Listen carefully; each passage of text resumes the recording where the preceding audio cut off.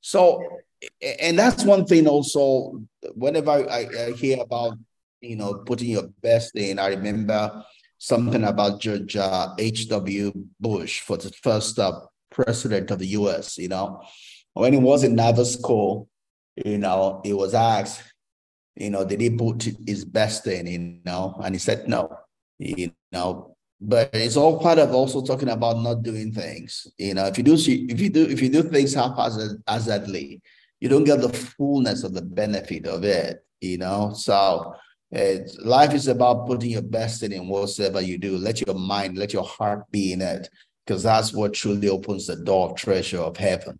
Heaven does not respond to everybody, doesn't respond to everybody that is doing something. It only responds to people who put their heart into what they are doing. That's those are the people that heaven responds to. Those are the people the treasure of this life respond to, right?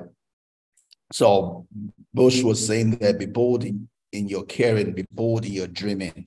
Above all else, always do your best. You know, always put your best into whatsoever things that you find yourself doing. You know, um, so you, you don't you don't get you don't think that at any point in time that you have tried, you know, you keep on improving, getting better, pressing on, you know, to get the treasure that you desire for your life. And we talked about the importance of enthusiasm earlier on. All right. On the last part is just to say that whatsoever you do, your work, your work is your signature in this life, right? The things that you do you're not whatever you do, you're not doing for someone else, even no irrespective of where you are, where you are. So I love to say that I work for free, right? I don't work for the salary, right? I work for the benefit that heaven brings my way, right? If all you do is work for the salary, then the universe does not owe you anything. But if you do more than working for your salary, then God holds you for the extra, right? If all you do is work is is is is is work so that you get for what you get paid, and you say, "Oh, I'm not going to do anymore. They don't pay me well enough." Then God does not owe you anything. You, you have already been fully paid. The way to make it is to always put God in debt. Is to always put the universe in debt. That's why we say put your heart into whatever you're doing. Do more than what you get paid for. Right? The extra that you do is what you are saying, God. I'm expecting your pay for the extra because they didn't pay me for this extra, right? Well, the God is the best paymaster, right? Not your boss, not your customer, right? The extra you put in is use is the prayer on its own, right? You know, prayer is not just you kneeling down talking to God. We'll pray by everything that we do because that's like that's called sowing and reaping. So whatsoever I sow is a seed, is a prayer that demands a response. That that response is called the harvest, right? So it's all that place where my work, you know, is my prayer, what I do with it. And also about uh, apart from that, it's also my signature. It tells of who I am, right? I, I had an experience recently here trying to do an audit for my for my company, right? The audit is due. And even though I could get someone else, someone else had already been given to me to do it, I felt I wanted to give it to a young lady, you know, just to give her something, you know, and that was the regret, right? Because the young lady, first of all, was too much after the money. It was about, oh, where's the down payment? Even when I did the down payment, oh, I have nothing sleep, all of that. And by the time the young lady did the work, did not even give me the work, wanted the final payment. And I did all of that because I was I was doing it in faith, right? But the work she did for me was useless. I couldn't use it. But I, I paid her fully, but what she gave to me is useless. Now I have someone else doing the same job. That person has not even asked me for money. He's not even discussed with me how much I'm going to pay him. He's not even asked me for, for, for down payment. All he's doing is doing the work.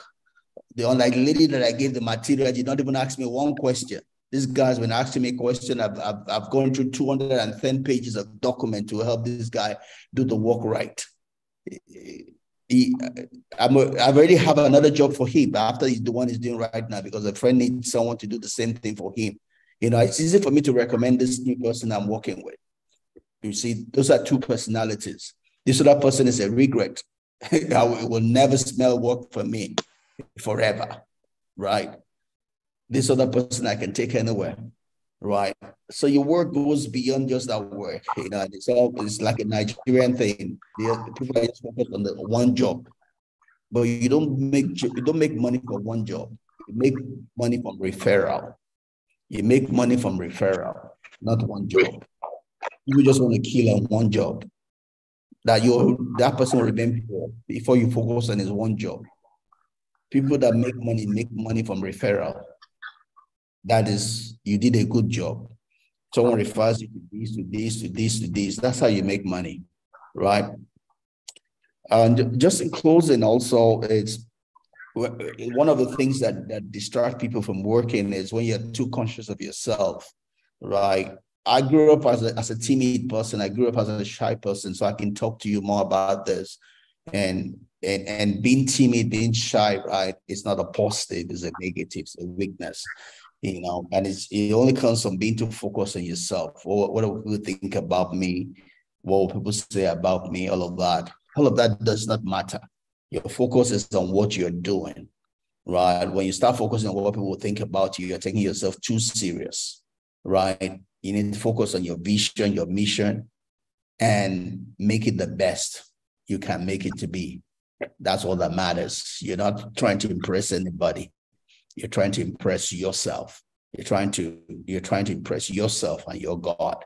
You're trying to impress your conscience. You set a minimum level of working for yourself. You have a work ethics that you walk towards, right?